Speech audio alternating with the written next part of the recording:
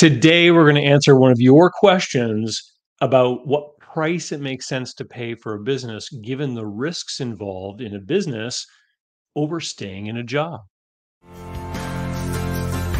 I'm David C. Barnett, and you're tuned in to Small Business and Deal Making, the podcast, YouTube channel, and blog where I talk about buying, selling, financing, and managing small and medium sized businesses while controlling risk.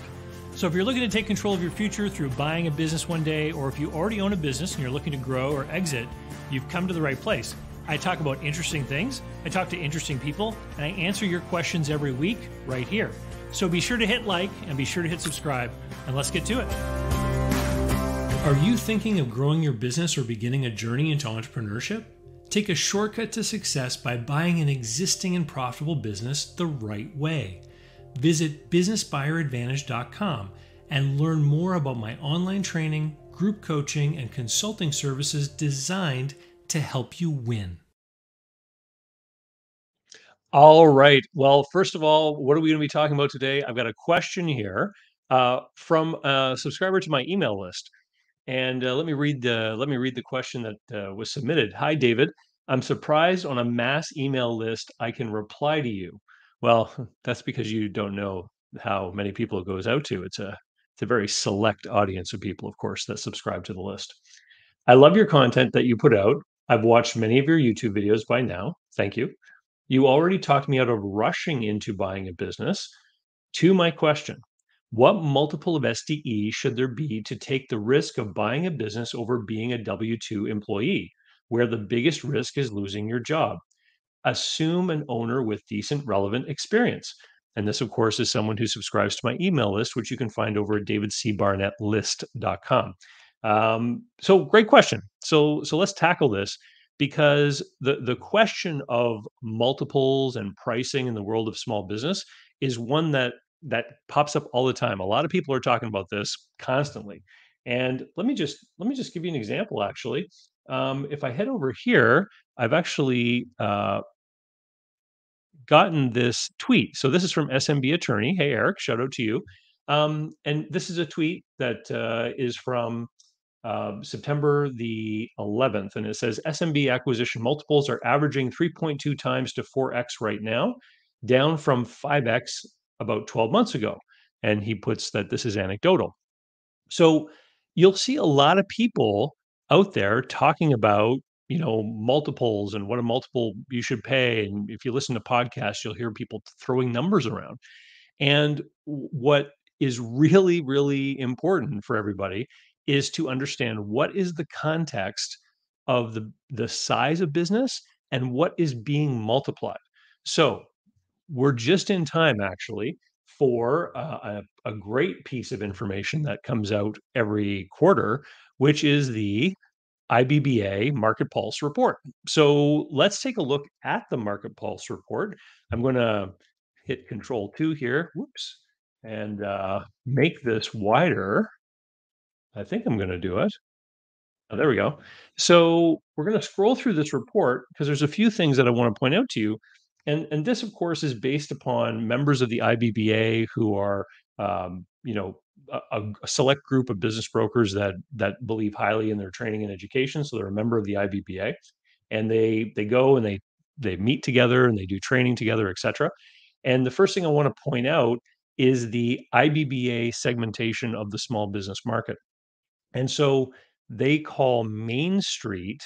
Uh, they actually have sort of three categories here: under half a million in SDE, 500k to 1 million in SDE and 1 million to 2 million in SDE. There's the three brackets of their main street segments.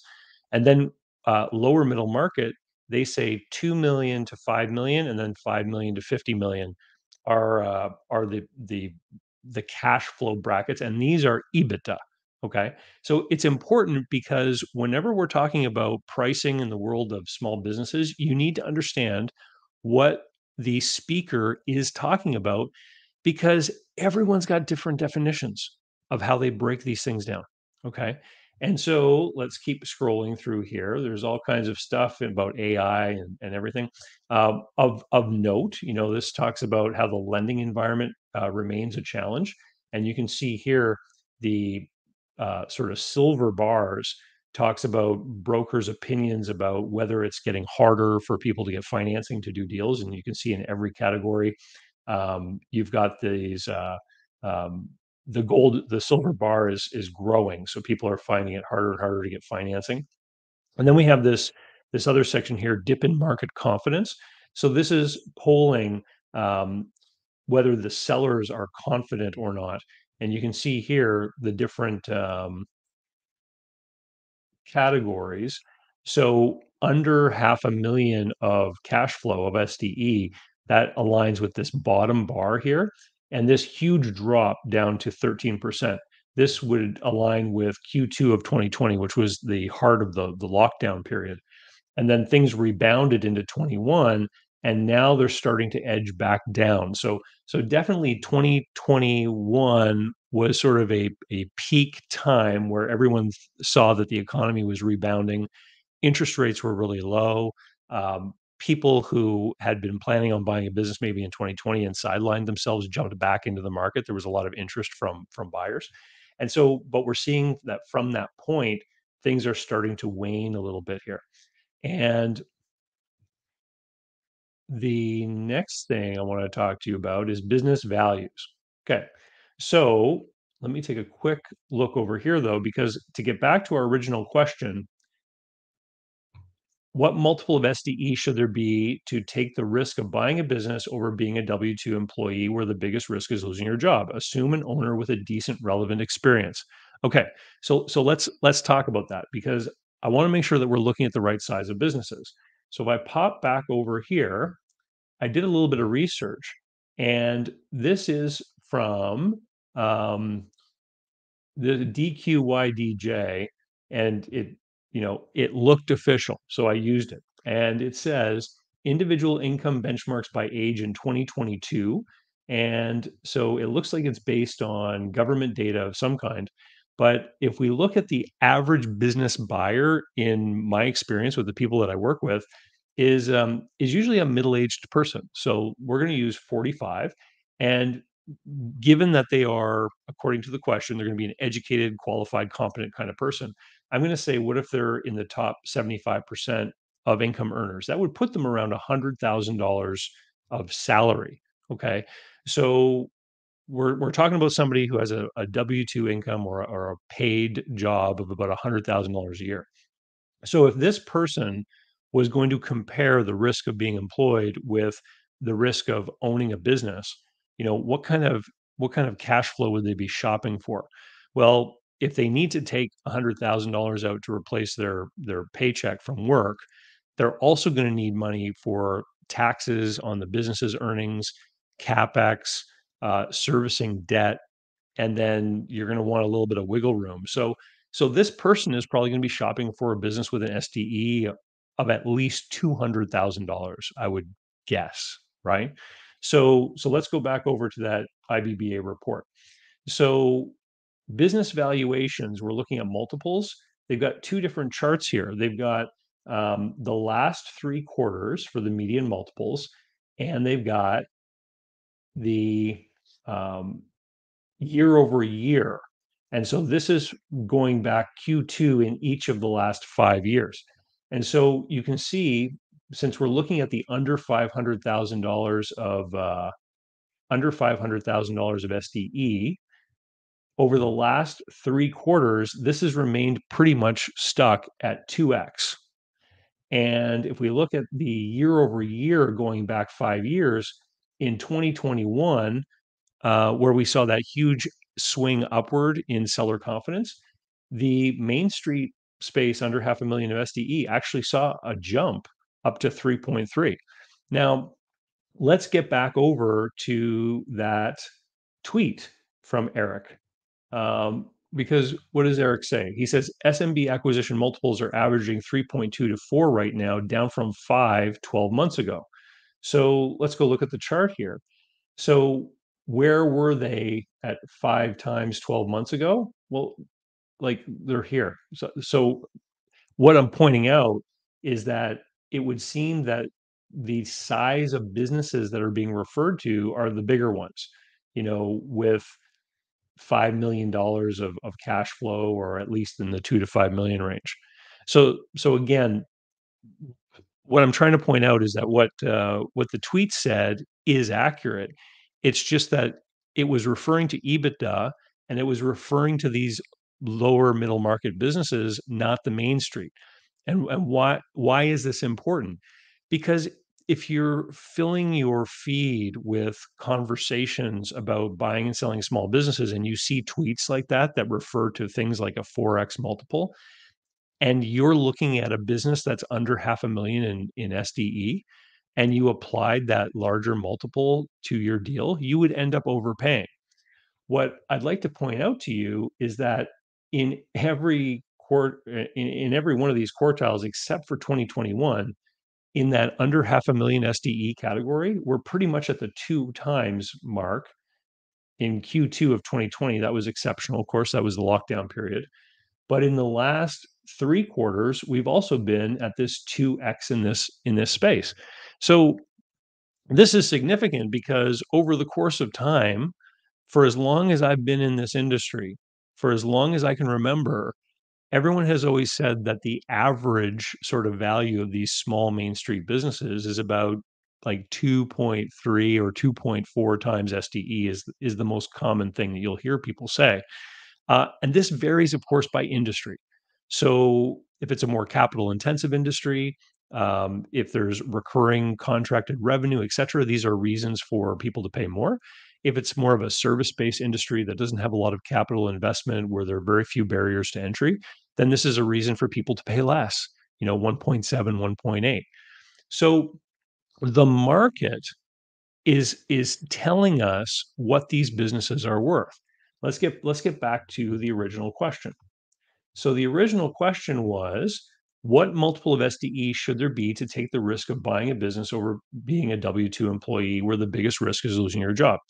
So I don't think that I am wise enough or smart enough to be able to say, this is the price you need to pay in order to balance this risk question. But I think that there's tremendous wisdom in the crowd. And what we observe when we look at reports like this IBBA report is we're looking at the actual results of the negotiations from all those buyers and sellers that are out there in the market.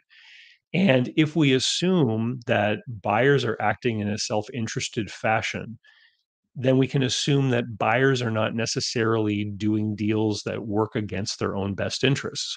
And in this business size category, this under half a million of cash flow um, of SDE, we have a really hard time getting out of that 2x sort of groove. And so, to me, what that would indicate is that all the other people that are buying these sizes of businesses are indicating that this is what they think that they're worth to them. So let's address then the other part of this question, which is the risk part. So I've got some other stuff that I wrote out here. Let me zoom back out. So the question of risk having a job versus a small business.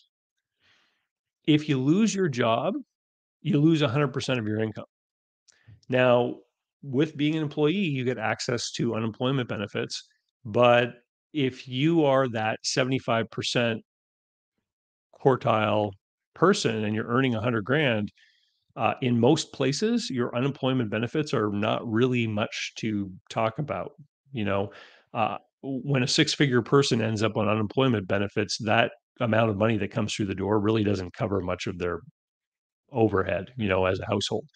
So, really, the risk is that if you lose your job, you lose all your income. Whereas if you own a business and you lose a customer, the business should be able to carry on with, of course, the glaring exception of customer concentration problems. So, let me tell you a story. Back when I was in the Yellow Pages game, uh, this was back in 1997 is when I or 90 late I guess it was 98 I started the Yellow Pages and I did it for 7 years. After a couple years we had a reorganization and they decided to categorize the customers and i was chosen to be the what they called the new in rep so so anyone who established a new business telephone number with the phone company it would be identified and it would come to me. So I would spend my time only dealing with the new business owners. And a lot of these people were, you know, if you can imagine a, a guy who worked at a plumbing company decided, I'm going to go out on my own. So he calls the phone company, establishes a business phone number, and then that would then trigger a series of events that would have me calling him up saying, Hey, my name is David. I'm going to take care of your first yellow page ad. So I would meet a lot of these people who were making this leap in in startup mode. And so a lot of them would have this this belief that being in business for themselves was risky and that they really had to be careful with the money that they had saved up. They had built up a certain runway to help get them to that break even point. So when I sat down with them, you know, they would a lot of them would would have this sort of fearful attitude about their business. And I would go through this example that I'm going to give you right now. I would say, look, when you had a job, if you lost your job, you'd lose 100% of your income. Now that you're in business, that risk is now spread across the entire base of your client load. So the risk isn't in losing a customer because if if a successful plumbing company loses one customer, they're going to be able to make it up with the other customers and they'll eventually find a new customer. The real risk is in not getting enough customers fast enough, right? And so the, the reason I would explain this is I would be a lot of these people would be very, um, they'd have trepidation with respect to how much money to commit to an advertising campaign, and they'd want to buy like the tiniest little ad. And I would say, and I would have to explain if you buy a tiny ad, all you're going to do is meet the price shoppers because they're calling everyone in the book. But if you buy a nice big ad, you're going to draw the attention of people who just want their problem solved quickly. And they're going to say, yeah, that person mentioned something, or, you know, maybe they, they put in freezing pipes or certain kinds of repairs or, you know, uh, uh, 20 minute toilet replacement or something like that. And so you're going to draw the people who just want their problem solved quickly. And so the risk for these startup plumbers, for example, is not getting enough new customers fast enough you guys are watching this channel because you're interested in buying a business. So when you buy the business, you get all the customers all at once. You avoid that that risk. So the real question is is what is your tolerance for risk?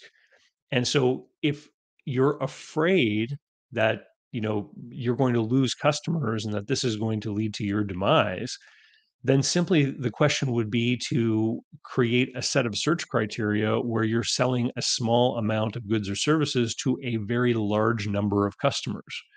And so you're sort of building a diversified risk portfolio within the framework of the small business, if you want to think about it from an investing point of view, right?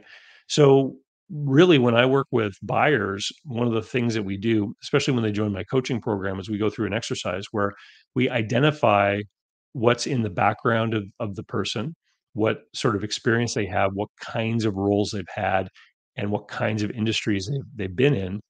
And we look at sort of the strengths that that gives to them.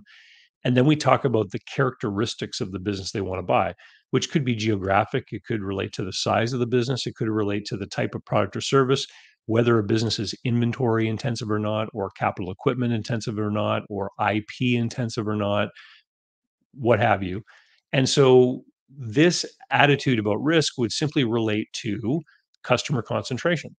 There are people that I meet who are not averse at all to customer concentration.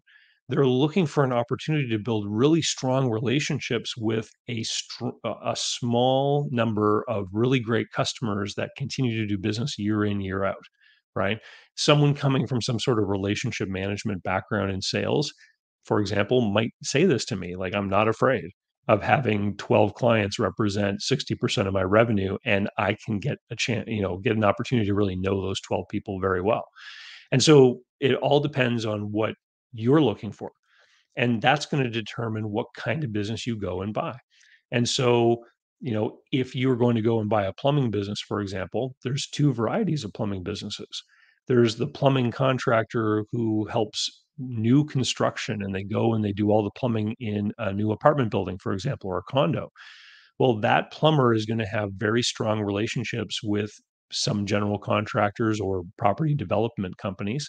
And they're going to try to work with those people over and over again. And they're going to have very few large relationships. The other kind of plumbing company is the one that serves homeowners and does repair and, you know, helps with renovations. They're going to have a vast number of clients who maybe call them every two and a half or three years, right? And so it just becomes one of the criteria that you put into determining what sort of business you're going to look for. It is not necessarily going to be reflective of the price. I think that you rely on the wisdom of the crowd. And every industry is different with respect to pricing. And that's why it's important when you are looking at buying a business that you get access to uh, someone who can help you, who can actually go and look up past transactions or gain information that relates to what other people are paying for the industry that you're looking at, and in particular, the size of business that you're looking at. Because if you're looking at information or data about business pricing and it's not from the right size of businesses, you could mislead yourself in an important way. Anyway, thank you so much for the question. If um, if you want to get into the email list, uh, head over to davidcbarnettlist.com. Uh, I send out something uh, pretty much every day. Um, and you also get notified whenever there's a new video or if I'm going to have a live stream guest on to discuss something. Uh, just head to davidcbarnettlist.com. And uh, with that, I'll say thank you very much. And we'll talk to you soon. Bye. So, how can you learn more about buying, selling, financing, and managing small and medium sized businesses? Easy. Go over to my blog site, davidcbarnett.com, where you can learn more about me and how I work with my clients. You can learn more about my books and courses that I prepared for you. You can find out how to subscribe to my email list, the YouTube playlists, and more. There's literally hundreds of hours of content there, all for free, and I'd love for you to be my guest. Special thanks go to Mark Willis at Lake Growth Financial, today's video sponsor.